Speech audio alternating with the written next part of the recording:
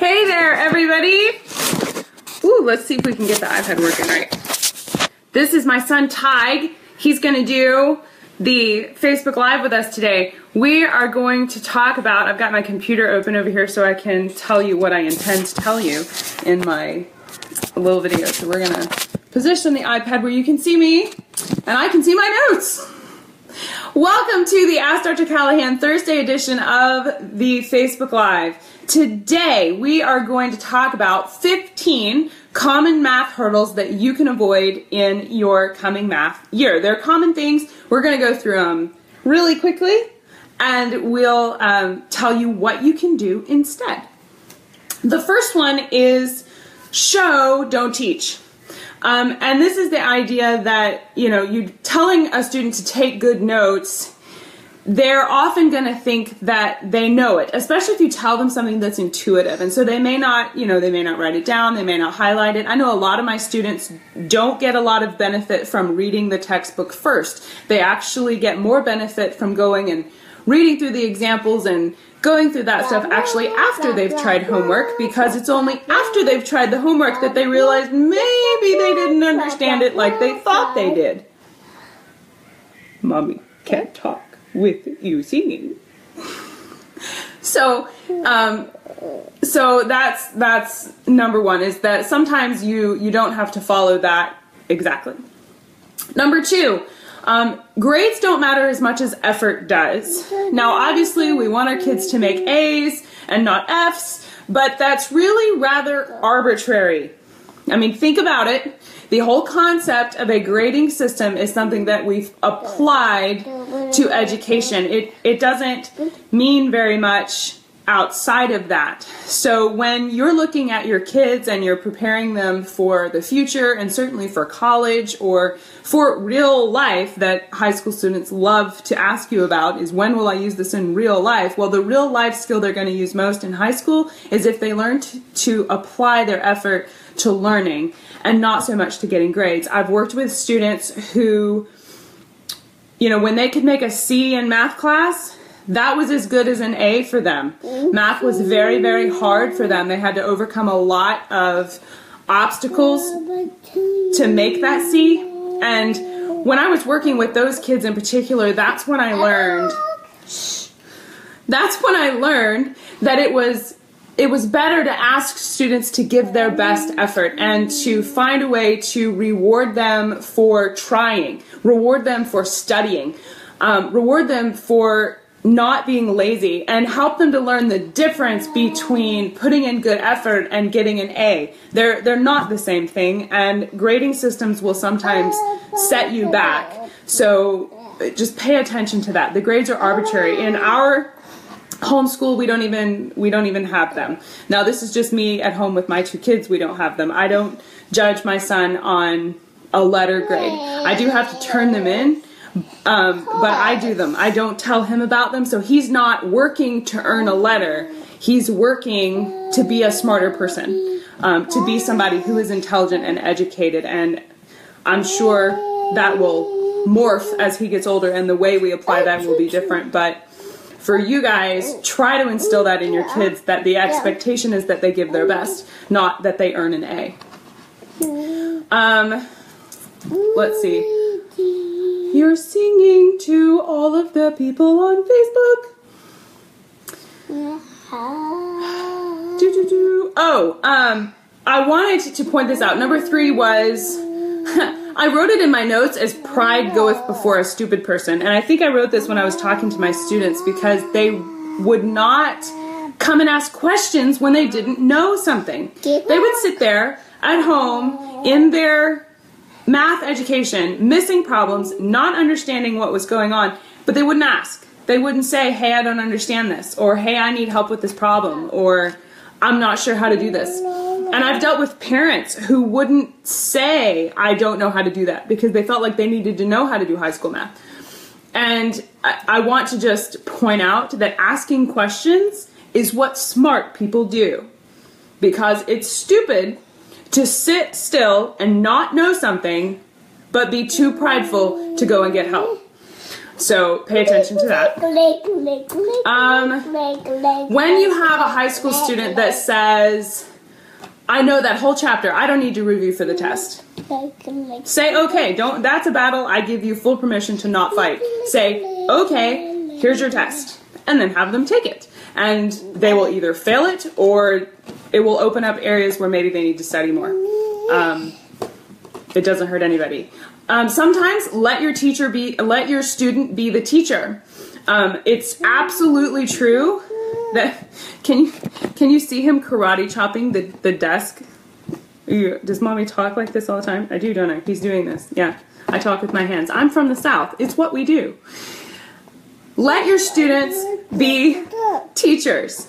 Um, it's absolutely true that you learn best when you teach. And this is actually a documented study habit is to teach the material you want to learn, even if you're just teaching it to a blank wall. I used to line in college, I would line up stuffed animals and I would teach my test material to the stuffed animals because when you're teaching them, even if you're pretending that they're asking you questions, that process helps you learn the material better. So it's often not only a great way for the kids to study, um, but it helps them demonstrate what they know in a different way because you do ask different questions when you teach than when you're the student.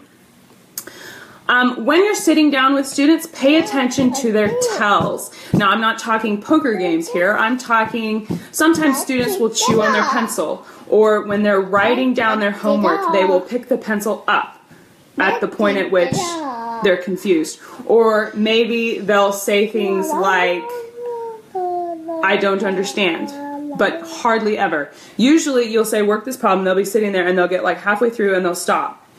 Or maybe they'll sigh. Or maybe they'll shift in their seat or pause in the middle of a, of a problem. All of these things can be tells where you, as the teacher or the parent, have the opportunity to say, Do you have a question? You look like you might be confused. Can I help you? And then, you know, that way, that gives them the opportunity to respond and say, I'm stuck. And my, my students, when I work with my students, I have to teach them this process a lot of times. I actually have to verbally say, you know, it's okay to ask questions. You have to say, it's okay to ask questions. It's okay to say, I'm stuck. And sometimes I'll even remind them and say, you know, I'm sitting here with you to help you with your math, but I'm not a mind reader. So if you have, okay, you can sit with me, but you gotta quit singing. If you have questions, you're gonna have to say out loud, you know, I need help or I'm stuck because if you're not communicating with me, then I'm gonna assume that you understand it.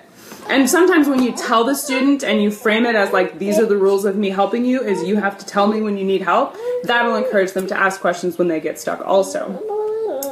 Um, remind your students to go slowly. Students love to be finished, so remind them that it saves more time out of their day to get it right the first time than to go so fast that they end up having to redo it three times.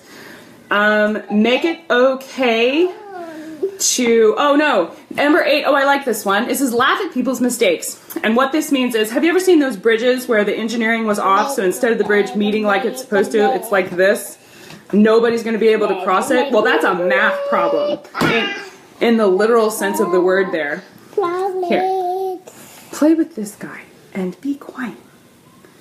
And it's uneven. So that's math not working. That's somebody rounding to the wrong place or trying to get their problem done so fast that they didn't solve it exactly. All of these things where, you know, you grade right answer only and students will ask you, does it have to be exactly right? I got 13 and a half. Why can't I just put 14?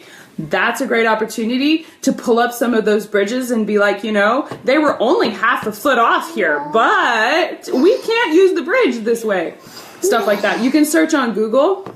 You know, I gave you that so you'd be quiet, and instead, the rhino is now roaring at us. It's not a dinosaur, it's a rhinoceros. Um, oh, this is fun. Do the math activity where they never use math. Challenge your students to go 24 hours without using math. Um, not any numbers of any kind at all. Um, that's usually very illuminating as far as how many times um, you use math, especially if you can't get in the car, because if you don't use math, then the car doesn't run. You can't cook dinner because you can't measure things. You can't get dressed because you can't, you know, the volume of your clothing. And, you know, it gets very, very complicated very fast. Most of my students don't make it an hour. Um, oh, it's okay to ignore the syllabus. The primary, um, the first and primary exercise in math is that your students understand. So you want to go at the pace that makes sense for them. The syllabus is there to be your guide, but by all means, stop when you're frustrated. Um, work on math regularly and consistently, but don't work so long that they get tired, and don't be afraid to ignore the book um, on days that your student just doesn't want to learn math that day. You know, it's 180 days of math over the whole year. There are 350 oh, I can't even think, 356 days in a year, 352, I don't remember, over 300, a lot. And 180 isn't very many of them, and that's the point. Moving on, because I teach math. Oh, and don't worry about cumulative. This is number 11 in case you're wondering. So we've got four more. Number 11 is don't worry about being cumulative. This frustrates me so much. You'll you study something at the beginning of algebra 1 and then an entire 9 months later you're at the end of algebra 1 and parents will freak out that their child doesn't remember exactly everything that was covered in chapter 1 without looking. Like they'll go, "No, no, remember chapter 1 without looking back at chapter 1." Oh my gosh. Albert Einstein is quoted as saying he doesn't memorize anything he can look up. And I'm pretty sure we can agree that he is a very smart person. So don't memorize anything that you can look up. That's what educated people do. Being able to look up what you need is just as important as having it memorized. In fact, it's more important to be able to apply the formula, to look it up and know what to do with it, than to just have them memorized all the time. Memorizing them doesn't do very much, which brings me to number 12, which is don't throw out your algebra book.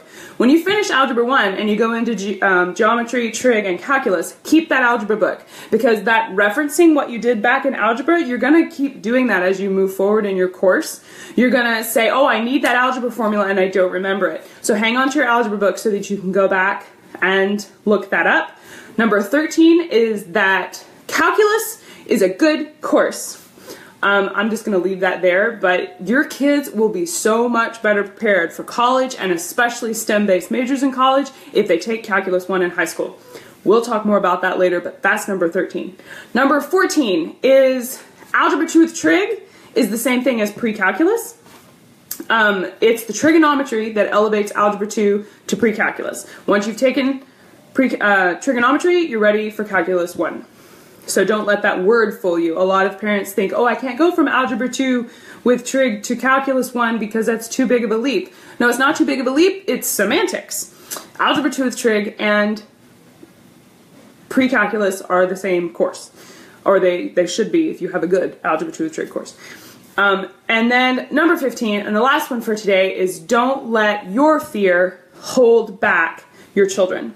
Um, and I think some of these are ideas that I'm going to talk about on future Facebook Lives because I could definitely go into more depth about this. But I'll briefly mention this one here, and it's the idea that um, if you don't like math or if you're scared of Calculus 1 because you personally wouldn't want to take it or because you didn't take it or because you think you can't support them in that class, don't transfer that to your children. Be very careful about encouraging them to be able to do anything that they want to do. Kind of not that doesn't sound quite right. Not like anything. I really want to jump off a cliff, mom. You should say no to that. But I mean like if they think they want to go into a STEM-based major in college and I've seen students, actually I have friends of mine who wanted to go into aerospace engineering, but they didn't because their family structure told them that they didn't know math well enough and then they became adults and they hadn't gone into this field that they loved and it was all because of their personal network in high school wasn't very mathy. And so what they were interested in got snuffed out. And it became this real regret that this adult had. So if you don't like math, try to and not tell them. because you want to encourage them. If they're into math, we definitely need more engineers in this world and we need people who have the skills to make a bridge even. I know I really appreciate the people who can make a bridge even and You know, and I don't know how to do that. And I want my students to grow up and become those people who make those real kinds of changes in the world. And I'm sure that you guys do too. So, as a tip, whether they audit a class in college, get involved with a cooperative, take an online class, or get help from homework help, us, we do that. Whatever you need to do to encourage your kids, if they want to go into Calculus 1, please, please let them consider it. It's the best choice they could make for their senior year to get ready for a STEM based major in college. So, now that we're finished with today's Facebook Live, of all of these 15 things, which one would you like most to hear about more in depth? Put a comment right down there. I can see it. Ooh, there's the comment button right there. If you click it, if you click that little comment button and tag us and say, you know what, I'd really like to know more about this, then I will review all of those and the one that gets the biggest vote um, will be what we talk about next Thursday. So be sure you let me know about that. Thank you for joining me today on the Thursday Facebook Live for Ask Dr. Callahan. I've loved talking with you guys today, and I will see you next week. Bye bye. I'll say bye if I can find the button that turns it off. There it is.